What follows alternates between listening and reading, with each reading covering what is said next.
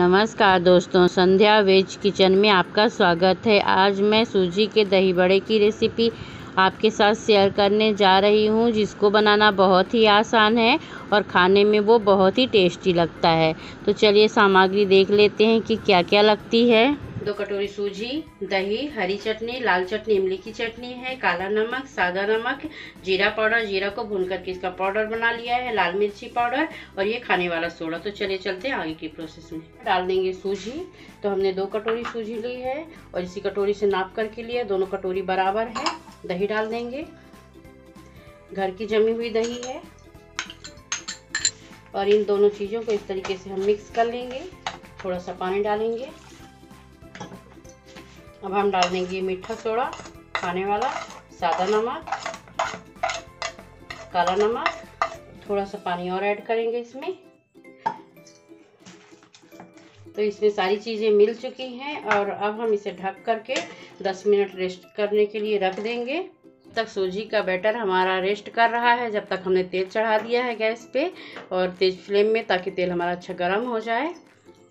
तो जो ये सूजी का हमने बैटर तैयार किया था तो ये फूल गया है। देखिए, हमने पानी लगा लिया है हाथों में और इसको हम इस तरीके से उठाएँगे और इस तरीके हथेली में नहीं रखना है, उंगलियों के बीच में रखना है ये और गोल सेप दे देंगे इसे और अब हम इसे डाल देंगे इस तरीके से।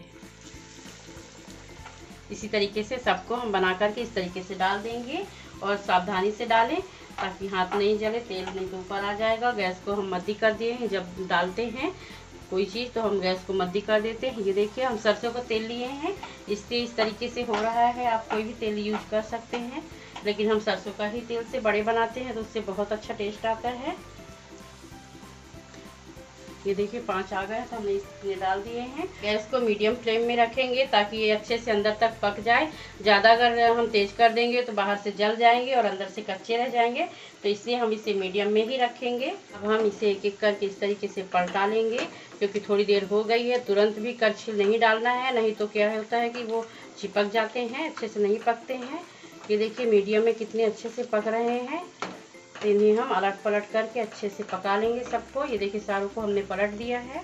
जब तक हम पानी तैयार कर लेते हैं तो हमने एक बर्तन ले लिया है, उसमें पानी लिया है, दो गिलास और आधी चम्मच हमने ये नमक डाला है। तो नमक आप अपने स्वाद के अनुसार डाल सकते हैं। इसको इस तरीके से हम चला लेंगे। तो ये हमारे बड़े पक चुके हैं, गोल्डन ब्राउन हो गए हैं। अब हम इन्हें निकाल लेंगे एक बर्तन में। तो इस तरीके से हम किनारे में लगाएँगे ताकि पूरा जो इसका तेल है वो निथर जाए। तो जो हमने ये पानी तैयार किया था नमक डाल करके तो इसमें अब हम डाल देंगे ये अपने बड़े।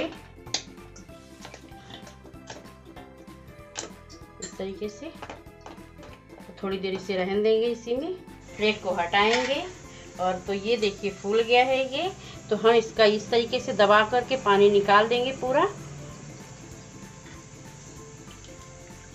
ज़्यादा देर तक नहीं फुलाए रखना है, नहीं तो पूरा ये टूट जाएगा, टूटना नहीं चाहिए। ये देखिए कैसे पानी निकल रहा है पूरा अंदर से। इस तरीके से अच्छे से दबा लेंगे, नहीं तो अंदर पानी भरा रह जाएगा। तो इसका टेस्ट अच्छा नहीं आएगा। तो हम इस तरीके से रख देंगे बड़े को। तो हम दो बड़े रख देंगे इस तरीके से। और अब इसमें डाल देंगे दही। तो दही को हमने अच्छी तरीके से फेंट लिया था। और अब डाल देंगे हरी चटनी। अब डाल देंगे इमली की चटनी तो इसको हमने घर में बनाया है। इसकी लिंक मैं दे दूँगी डिस्क्रिप्शन में। तो आप चेक कर लेना कि किस तरीके से बनाते हैं। और अब जीरा पाउडर तो जीरा को भून करके इसका पाउडर बना लिया था। लाल मिर्ची पाउडर, सेंधा नमक